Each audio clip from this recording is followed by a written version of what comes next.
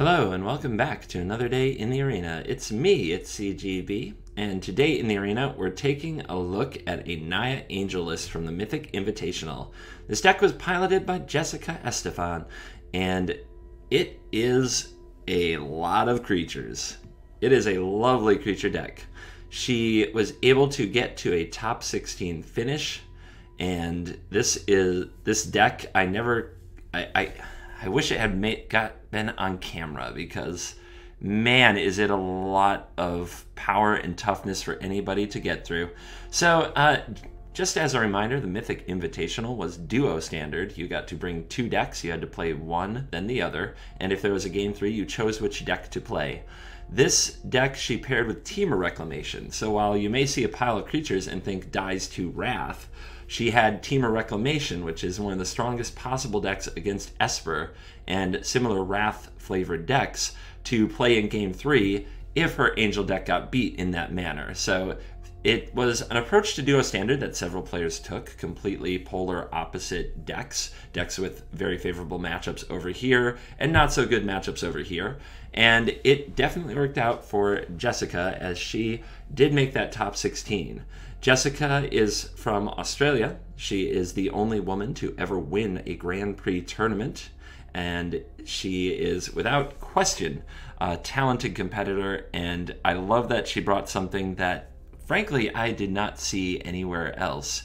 Now, as I already know from my last video, some people in comments, you might immediately say, I've been playing Naya Angel since that rotation, or something of that nature. I'm not saying nobody's ever played it before. I'm saying that I do my best to pay attention to the top performing deck lists, and I have not seen a list just like this. I love that it has four Lyra Dawnbringers. Tell Red where to shove it, and look at all the angels. Four Resplendent Angels, three Shalais, three Aurelias, one Angel of Grace. So many angels. But look at what's on the bottom of just beefy bodies to put on the ground to get between you and your life total when you're against red and white. We've got four Growth Chamber Guardians, four Zhur-Taa Goblins, and four Gruul Spellbreakers with two Knight of Autumns. And there's four Direfleet Daredevil, so just when you thought there was no removal or no spells, Direfleet says, Hold my beer, I got this. Then we have Domi- Domri, the Chaos Bringer, a one of, the only non creature card. Because for 4 mana, you can put it out there minus 3, and the odds of hitting two creatures are really good. And after that, plus ones giving Riot to something like a Lyra just sounds oh so lovely. The mana base, about what you would expect. The only check land we go a little bit soft on here is the Rootbound Crag. Probably because the red is the closest thing to the the red and the green are more of the splash, while the double white for the angels is always important. But in every state, you only need a single green almost all the way up, and you only need a single, um, sorry, a single white, uh, not white, a single red almost all the way up. Sorry, words. Not sure what's going on. Old man brain sinking in. Now you might see a sideboard over here. And in the sideboard, you might say, well, what's the point of a sideboard? It's best of one. What's, what's going on with that? Well, we've got this Direfleet Daredevil, and it can cast any instant or sorcery from a graveyard. Well, there's this card in the format, Mastermind's Acquisition, that lets you look outside of the game for a card. And if so, if you want to access your sideboard with a Mastermind's Acquisition that you cast with a Direfleet Daredevil, it makes sense to have some options, and there are some options here. I would love to ask Jess just how what she fetched with the Direfleet Daredevil. Was it ever Zacama, the Primal Calamity? Because that would be amazing. Hmm. Maybe she'll respond to my tweets. All right. We've looked at the at the deck a bit. Let's go play some best of one. I think that we are going to have a pretty hard time against Esper Control, but a really good time against red and white and anything else trying to match creature for creature. Well, we're on the draw with all three drops. It's not great. We have 12 two drops to draw to odds would not quite be in our favor. It feels a little bit slow for the meta, even if the mana is good. Yeah, let's try for better. No green. Maybe we can scry to a green. Ugh. I hate to bottom you. Yeah, we got a friendly one this morning. Hello to you as well. So we're gonna be digging for a green mana. And we got one. Let's get it let's get it going right away with the Growth Chamber Guardian. No stick, so there's no cast down or assassin's trophy from the opponent right now. The stick is the little hesitation when you put a spell on the stack. A disinformation campaign. Hmm. Well then.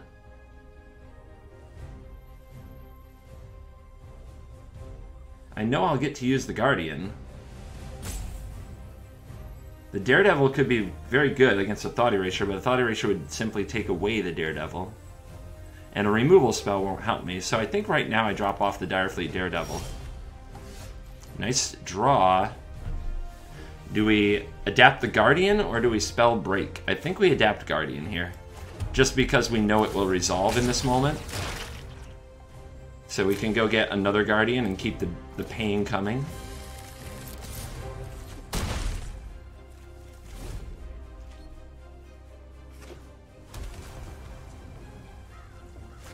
And Thought Erasure, there it is.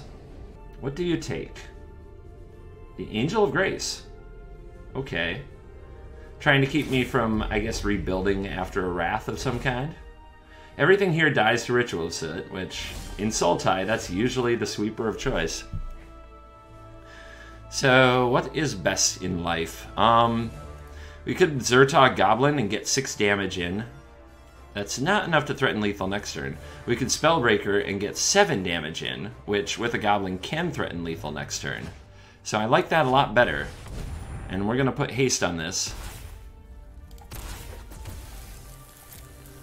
Even if the opponent Rituals of Soot here, we can come back with a Goblin for damage or Resplendent Angel. Something to reload. And on end step, it's a growth spiral. Let's see if the opponent... No, they don't have the land, so their hand is all spells. So we know it's good. And there's a land off the top. It's not a green land, so we can't adapt this Growth Chamber Guardian immediately. But we can play this. We can give it haste and get in there. Now, I can also play the Resplendent Angel, which I will, but I'm really nervous that it's another Ritual of Soot. With this many cards and all of them being spells, another Ritual of Soot is perfectly reasonable. So, this is a scary one. Okay, passing the turn feels like a Vraska's Contempt. Let's...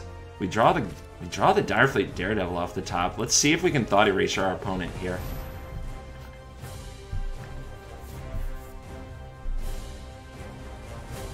And it is a Vraska's Contempt, no surprise.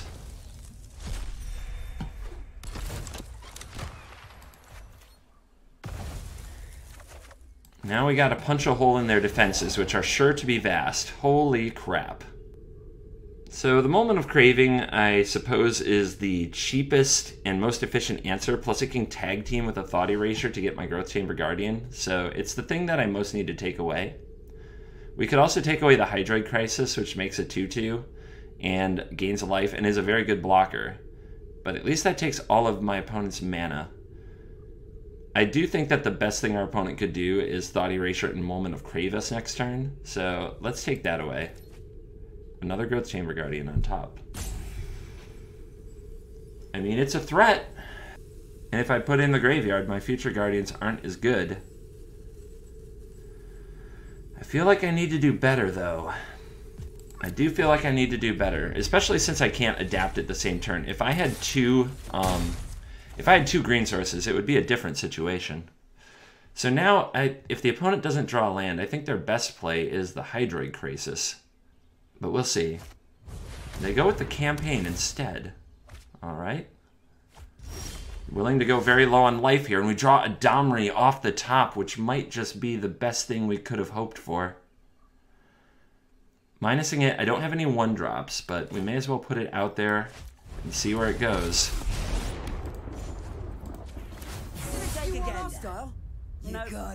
It. The Zhur-Taa Goblin being haste is so much pressure. The Direfleet Daredevil can get what? Not much right now. There's a growth spiral down there, and there might be a thought erasure if the opponent plays it, which they probably will. So if I take the Daredevil and they don't take it with the thought erasure, that's a punish. What's the opponent going to here?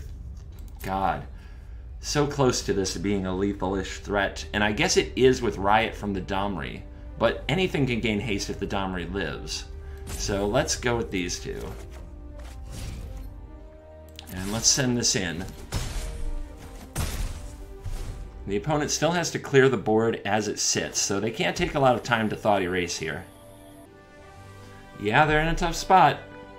The Krasis goes up to four, but then a Hasty Shalai game. An Eldest Reborn, we just sacrifice a creature, and a Hasty something is game. The Domri, the one of Domri, is going to smash this. The opponent's going to go with Thought Erasure.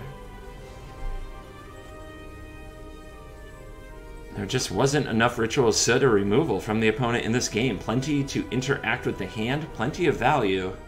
But on the board, their life total dwindled and dwindled, and now it looks like it's going to run out. Turn past.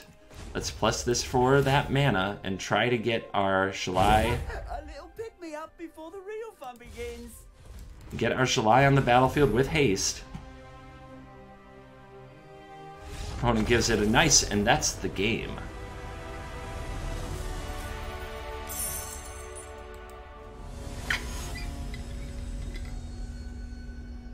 It's been a rough game in the arena. We haven't been on the play in five games, and I've lost my last three, drawing about 12 lands in each game. Um, so let's see if we can get back on track. I always say that because you'll probably notice that the rank decays. Like really astute people out there who pay way too much attention will be like, You're cutting games, you're only showing good games. Yes, I only show good games, because only good games are fun to watch. Bad games aren't fun to watch. Watching me draw like a bajillion land isn't fun. I promise. If it was a close game and I lost, and there was something to learn from it, or uh, it came down to some big draws, I would definitely keep it in. I would definitely keep it in. All right, let's keep time dictates I don't have enough time to record awesome games that I win only. I very much have work to do. I got places to be. So we'll keep this hand. We have a thoughtful mage on our hands, my friends. They really thought out that hand and now they're really thinking out turn one. Perhaps it's a good time to remind you about the FlipsideGaming.com giveaway. You can win a booster box of War of the Spark if you use the promo code CGB on a $10 or greater purchase on FlipsideGaming.com between now and May 6th, 2019. So, we've drawn some land. We got this nice mix of creatures and spells. Our opponent looks to be on gates. Let's bring forth the Growth Chamber Guardian.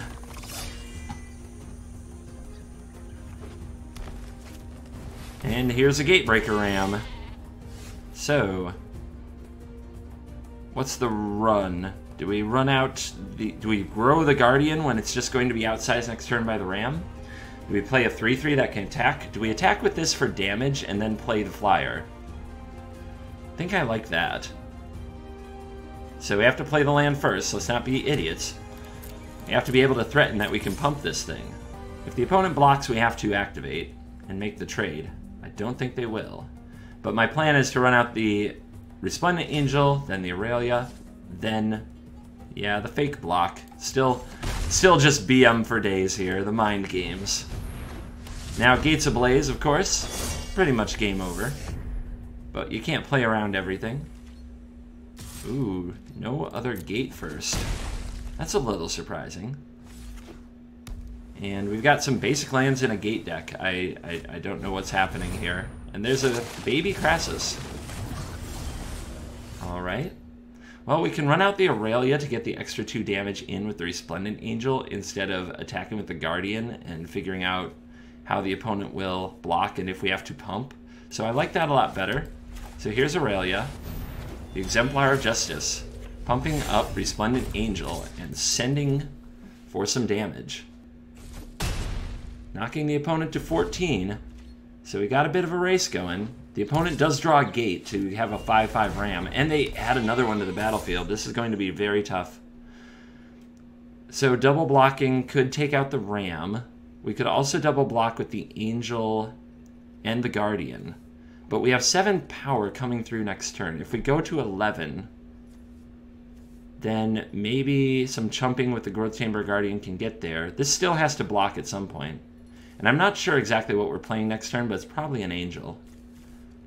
I, regardless, I, we take the damage here, and then try to make this call next turn.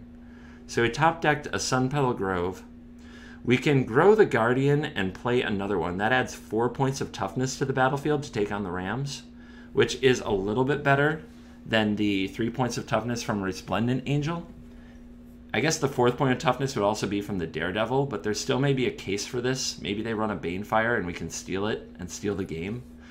Uh, we could also play Domri and play the Daredevil. I don't think that's particularly great.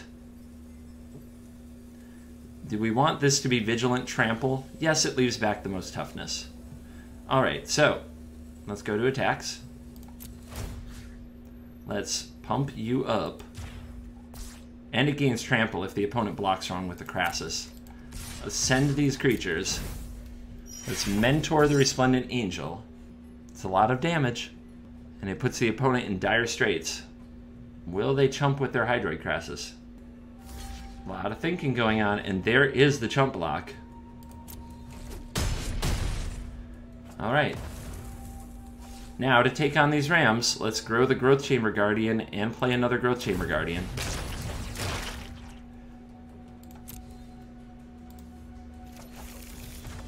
This one's coming down to the wire. A Gates Ablaze would be absolutely devastating. Uh, a Gate and a Gates Ablaze would be close to lethal because the damage from the Gates Ablaze would mean the trample damage gets mostly through. But I don't think it's quite there. Oh, a gate plus a Gates Ablaze would be lethal because it would wipe out this Guardian as well. But our opponent top decked a gate last turn, and it's going to be interesting to see if they can top deck a gate this turn. This one is coming right down to this crucial moment. And the fact that they haven't snapped it off gives me a lot of hope. But hope was made to be dashed. Dreams were made to be broken. Here they come. Alright, so there's a double block. Then go to 5 without putting Aurelia in danger. This is 1, 2, 3, 4, 5, 6, 7, 8. And then if we're at 2, if we have 2 more life, we can pay 2 life and pump the Angel, and it should be lethal.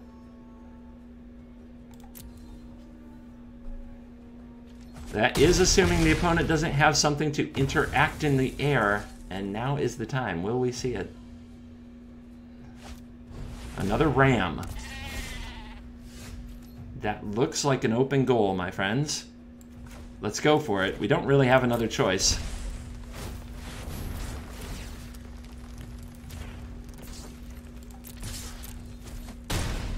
That's the game. On the nose. What a battle.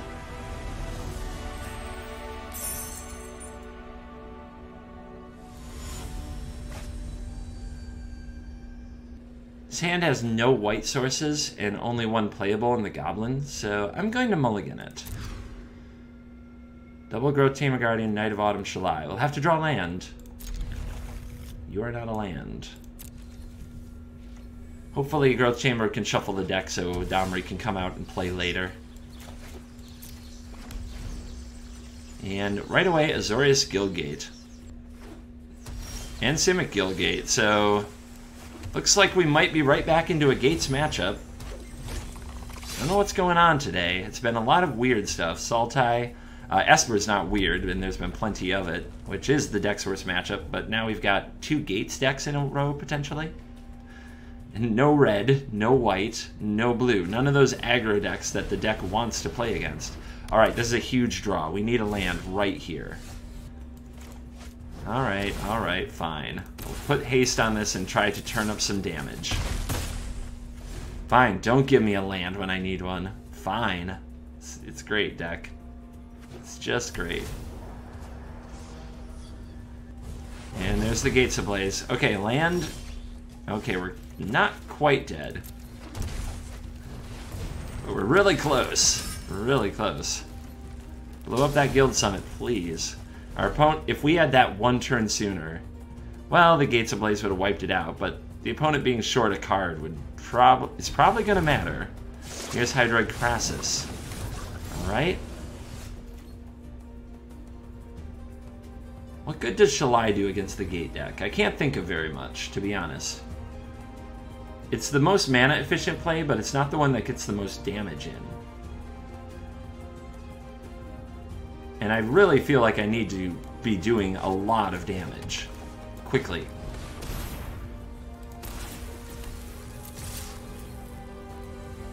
So if I trade the Knight of Autumn for the Krasis, I'll take it.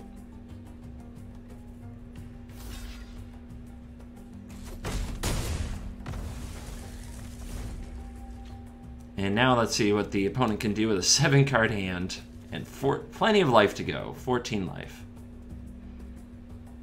I think this one will be much harder to steal than the last game. They have the ram.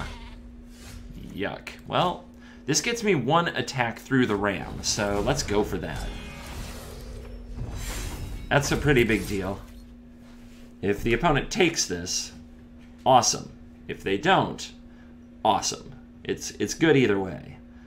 Um, taking it gets us much closer to winning the game. Trading with it gives us more time to keep applying pressure.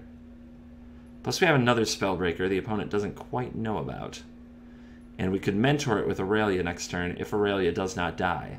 Now, Aurelia is not going to get swept up in Gates Ablaze yet. The opponent has three gates, possibly four, next turn and that's usually the key removal spell along with Deafening Clarion these decks use. They don't have a lot of what I would call good spot removal, and there you go. Gatebreaker Ram does not step in front of the Spellbreaker. The opponent being at 9, it feels like we might just have a chance. Of course, I'm not throwing Aurelia under that bus, but not playing a land first, it doesn't look like our opponent has a gate. Now, they could have a plaza. A plaza of harmony would be a big deal gaining the life could really shift the race. But if this is still a 5 power creature, that's pretty good for us. Because we can keep throwing the Spellbreaker into it. There's a Krasis. And a gate. Oops. Um, okay. Daredevil, again, against gates, it's just really hard to use. We can get this to a 4. We can't get it to a 5, though. We could play another Spellbreaker, Mentor Aurelia, turn 1 to 4, then it gets blocked. Then the opponent takes 1, 2, 3, 4, 5, 6, 7. They go to 3. How do I ninja away 3 damage? I don't know that I do. The problem is the Spellbreaker doesn't get better. We could also play a Shalai and attack for 4 in the air.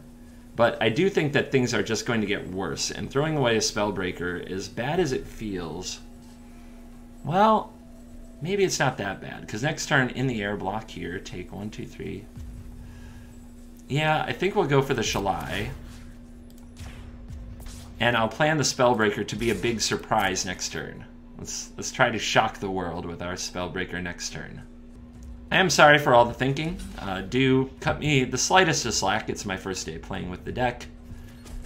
Some of the card interactions aren't as clear to me, as well as how I have to necessarily ninja through the damage against a tough matchup like the Gate deck.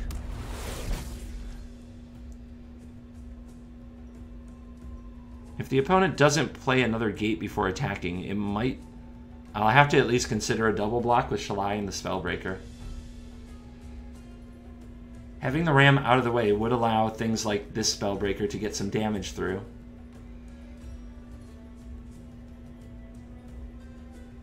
Let's see what the let's see. This is another critical turn. How the opponent basically like stocks up the board, whether they're playing to block or whether they're able to remove something, will really determine if we can steal this game. Growth spiral. That's promising. With no land? So they have all spells. Okay, Gates Ablaze. Do we block this? When I untap, this will be well, this will go to four, and I will go to seven, and then I'll have a blocker to put in the way of the ram. God, that's close. No blocks. Another, another sweater here today.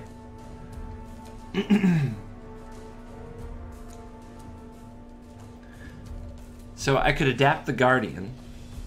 I could also play the Guardian and the Daredevil. I could also play the Spellbreaker and the Guardian. I keep on trying to think that if I have this hasty effect, I can somehow steal the game, but the Ram will always be in the way.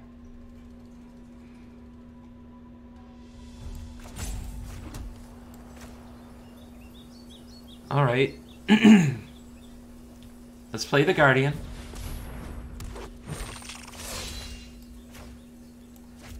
Perhaps going wide next turn can get there, though. And this could be a 4 pumped. And we're at 7. If the Direfleet Daredevil is able to make a block here...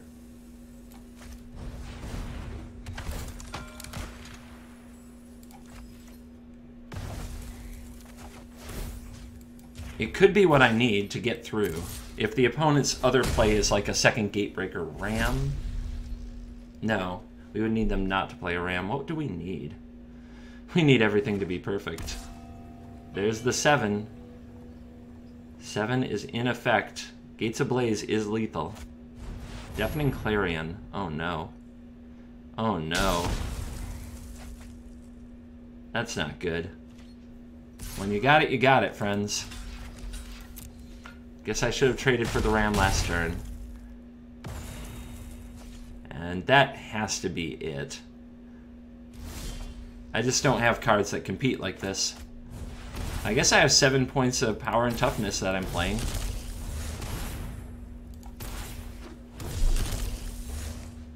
Probably some poorly played turns there in hindsight. I would love to try it, uh, run it back a different way. I don't know about trading with the Ram, but probably getting this... I guess the Spellbreaker still would have been swept up. But I would love to, I honestly would love to play that in a few different ways and see if there's ever a world where I can get there. Alright, so then the Rhythm of the Wild stuff kicks in, and that's going to be the game.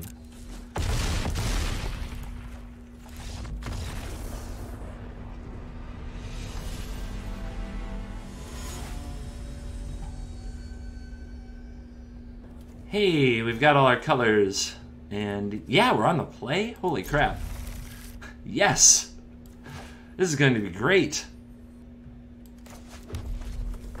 I was trying to debate if there's any reason to play a different land there, like uh, a sequence that leads me right to a Resplendent Angel on time. I didn't come up with it. Here comes the Guardian. Let's see if the opponent's ready to kill it. So ready. Okay. Well, it's nice to know that they were going to be very paranoid about this card. Let's, though, start slamming away. Against Drakes, it might make sense to have a plus one, plus one counter there, but I really like establishing that I'm doing damage quickly, so we'll see. Uh, they also usually run Lava Coil, which is another reason that the counter wouldn't matter very much. It's mostly about whether or not it could attack through a Crackling Drake. This is interesting. I could exile my opponent's Radical Idea. I could also draw two cards with the chart, of course. I could also play the Shalai and protect the Spellbreaker for a hot minute. But if a Crackling Drake comes down, how big would it be? Well, we could cut it down to a 2-power Drake with the Direfleet Daredevil next turn.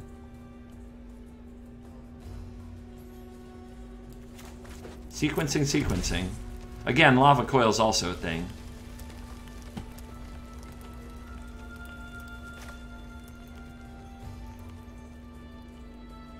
I think I'll be able to get the Daredevil done later anyway, so I'm going to play the Shalai now.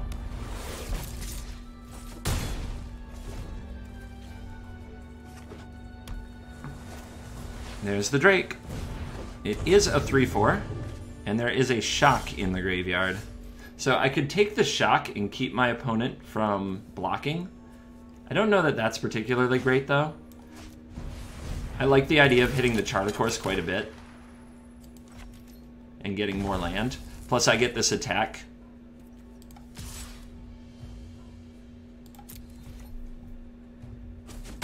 Alright, they take it. I could have attacked with a Spellbreaker as well. I think I kind of gave away there that I didn't have it, but Uh, that would be quite the bluff, and I think the opponent would have to block, quite frankly, if I were attacking for that much damage. Well, we're trying to go wide here, and of course a Lyra would be big game. The opponent dropping off an Arclight Phoenix. Can they get one more spell cast? Probably. Usually they can.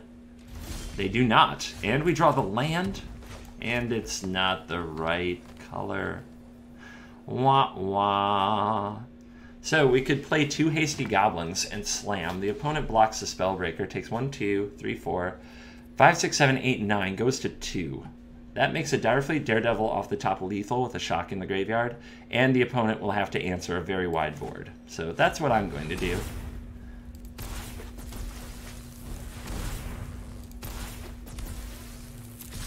Go team! Get in there. The opponent not blocking Shalai is weird. What's up with that, opponent? Don't you want to block an angel? Now what?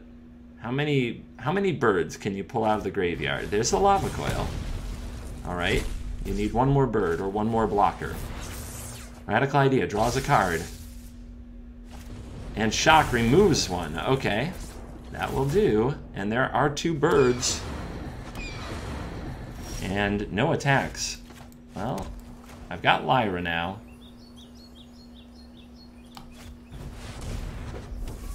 Lyra's, Lyra's a big, big girl. And I like having it down just to cut the Crackling Drake off. Make the opponent kill it. Oh no. Oh no! Not like this! Okay. And the beat goes on.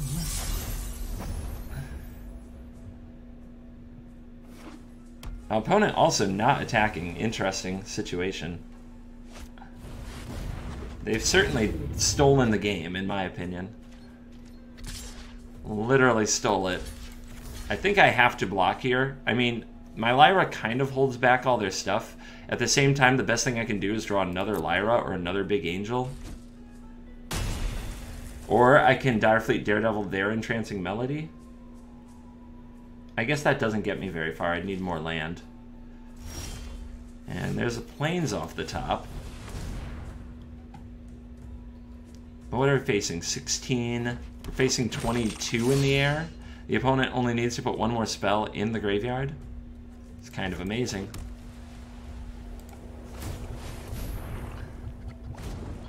And that shock will do it.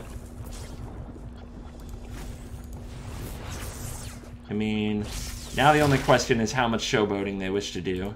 And I'll go ahead and pass the turn and let them finish me off. Alright, showboating it is.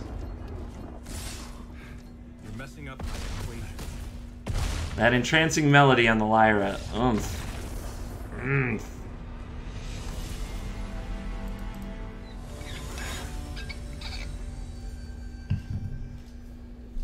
Wow, this hand. Um, I think I have to have more land than that. Okay, we'll give this a try. And we need more land. So, Shuffler! Why? Why you hate me? A mountain. Oh my oh my, are we are we possibly up against a red deck? So do I play this and set for Angel next turn, or do I play the Guardian? I'm pretty sure the Guardian's the right play. Any untapped land turns it on. Of course, the opponent's like, what? Shock? Duh. Or not. Interesting. So, oh, Carnival Carnage must be what they have. Okay. So, I have a blocking opportunity. Looks like my opponent's going to be rather aggressive. I think I'll wait and see if I can top deck the untapped land, or maybe a Direfleet Daredevil will just get in front of this. But remember, I think they have a Carnival Carnage, so the Daredevil's not really a good pick. I'm still going to give myself a chance to grow this Guardian, and I'm going to fail. Well, let's swing in. I don't plan to block. Now, do I put this out there to die?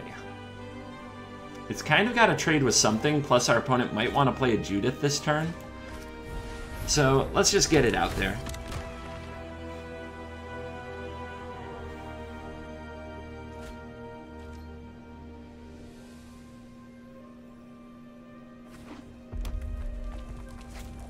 Midnight Reaper. Okay. Cool.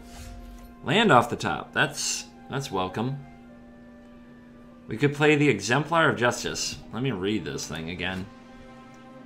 Plus 2 plus O, trample if it's red, vigilance if it's white. So the Guardian can gain the... The Guardian can certainly gain the plus 2 plus O. It's just not what I'm really looking to do here. We could also play the Resplendent Angel, and we could also grow the Guardian. All of these are options. I think that getting damage going in the air is crucial. I think that Aurelia can be very hard to deal with, and I think that pumping the Devil and getting in there is a pretty good play. I definitely need to need to keep pressure on my opponent's life total, but I don't want to trade the Guardian for the Fireblade Artist, because it can gain some value later. The opponent with the block. Ooh. So they take some trample damage, and they draw a card from their Midnight Reaper. But pressuring that life total is a good way to make that Midnight Reaper and all its card advantage a little less tasty. It is kind of crazy, though, to see the opponent with a full grip but I'm the one with the full board. Ooh, Chupa. I didn't expect that. Not sure why, just haven't really seen it in these red-black decks very often. And it's pretty vicious. So, do I trade with the Reaper? I feel like if I don't, I'm just going to fall further and further behind here because the opponent has this easy block on my Guardian anyway. But I still might need the value going long I think I've got to take it. Now the problem is I can't really attack. But let's get out the Resplendent Angel and see if the opponent has another Chupa. It might be able to take over the game on its own if we top deck a land, and the opponent can't kill it. And they killed it. Dun dun dun. Sadness. And here's that Carnival Carnage, probably. Okay. Opponent's moving in. I'm not blocking. Down to seven life. There's a Shalai. We can also get the Bedevil and kill the Reaper. Far from great. Uh, I think that playing the Shalai, though, just makes the opponent have the right thing once again. But I have to be ready to trade with my Guardian now, which is pretty rough. I could just go get another Guardian and make the... If the opponent has a removal spell, make them use it on the 4-4. I think I like that a lot better. Hope to draw a Lyra soon.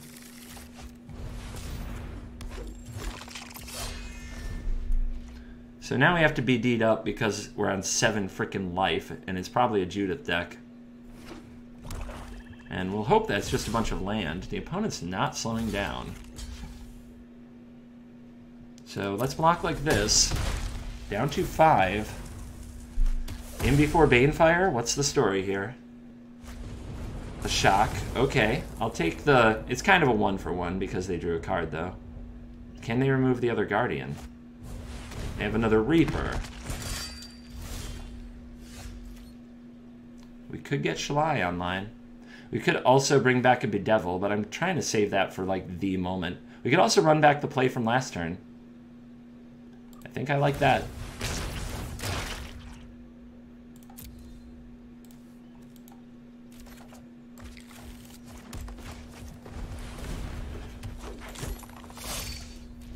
just keep on valuing off the Growth Chamber Guardians here.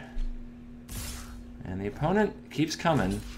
I think it's about time I have to make some blocks. Some tough blocks I don't really want to make.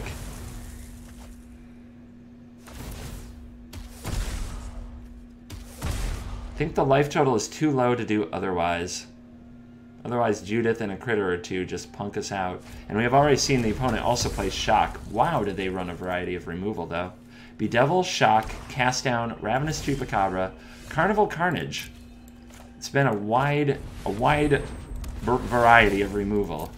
I'm still trying to hold this back. I'm waiting to see like a Spawn of Mayhem, something like that, that I can flash back a removal spell for. Angrath. Ouch. Does it target? No, it doesn't. No fire, no steam. Talk about a punish. I need to draw a Zhur-Taa Goblin, something with haste here. That is not it. Alright, let's power up.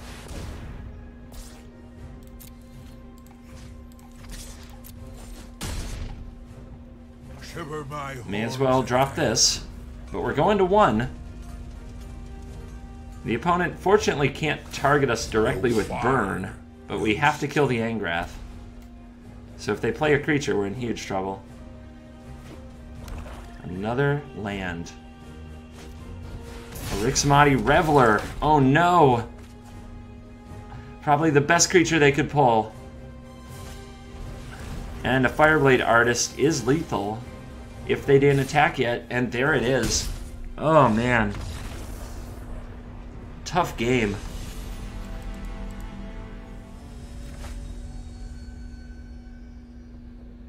We're on the play, so I'm already excited, and we've got some land, so let's rock and roll. I don't have a 2-drop. That's the problem I have, but maybe the rest of this we can just power power through whatever we're up against. They brought in a Johnny Avatar, could be anything.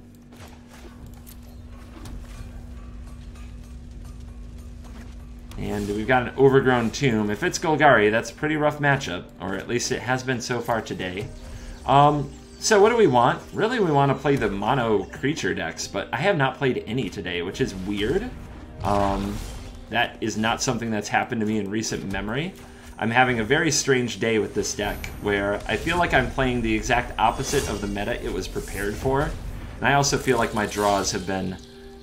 like, like, there you go, right? Kraul Harpooner. But does the opponent have a land? Oh, they do. They do. They're probably putting off Jadelight Rangering me till next turn. We could play Domri, which I could take it down, but then Domri dies to...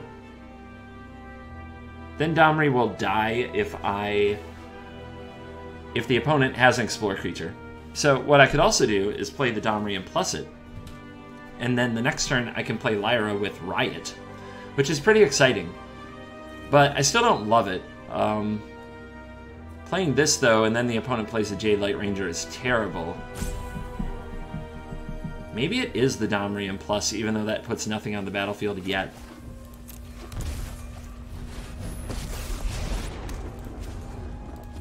It makes it... It makes the opponent have a Vraska's Contempt right now. And... Or an Assassin's Trophy, I guess. Duress and Duress misses. Finally, I played brilliantly. To be honest, I wasn't thinking about the Duress there, but that is a big upside to the play. You hit like a child.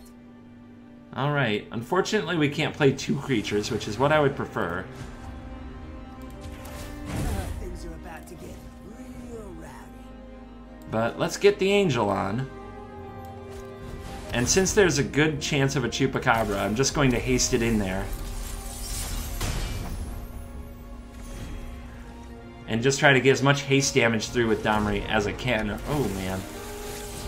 Alright. But fortunately, we'll have Resplendent Angel coming on next turn to build up the board, even though Domri's about to bite it. Lots of Midnight Reaper, Kraul Harpooner, Jadelight Ranger stuff. Weird. Later, Domri. Thanks for playing. Keep the life coming. The opponent knows about Resplendo, so let's make some more creatures. They have a life link. They have a bonus from Lyra. And the opponent says no thank you to that. Holy cow. Well, my friends, I think it's important that we know when to quit. Uh, and I'm quitting while I've got a win under my belt. So, I do like the deck. I think that it is definitely best for the white and red battles, and maybe against green too. We, um, I didn't feel favored against it uh, when uh, Nerd Girl was going up against it in the Invitational, and because of that, I think I showed it a lot of respect on paper, and I think it's good for that meta. However, whatever was going on in Gold 3 today, I don't I don't know what to say. I didn't play against any mono red. I didn't play against any mono white. I didn't play against any mono blue. I played against a much wider variety, and I never thought I would miss those decks. But when you target them and you get hit with the curveballs, well, you get some unexpected results. Still, I like the deck. I think it's got a lot of it, it's just got a lot of power to it. It's a very, very fun deck to play in a three color base. It's quite a zoo. It has a wide variety of creatures and it has more play to it than I thought because of all the decisions you have to make with haste and your options with Direfleet Daredevil. Well, I hope that you enjoyed the video. Thank you for watching. Please consider using the promo code CGB on FlipsideGaming.com to win a booster box of War of the Spark. One booster box will be given out to people who make a purchase of $10 or greater using the promo code CGB between now and May 6th. Thank you for watching this video. As always, I will see you in the next video. Goodbye. If you enjoyed this video, please hit the like button, subscribe to the channel, or leave a comment. You can also support the channel on Patreon for special perks. Links are in the description. Our sponsors are HauntedFlower.com and FlipsideGaming.com. Haunted Flower sells officially licensed MTG apparel and accessories, and Flipside Gaming sells MTG cards and supplies. You can save 10% on either site with the promo code CGB, and it supports the channel at the same time. See you next time for another day in the arena. For now, it's me, it's CGB, signing out.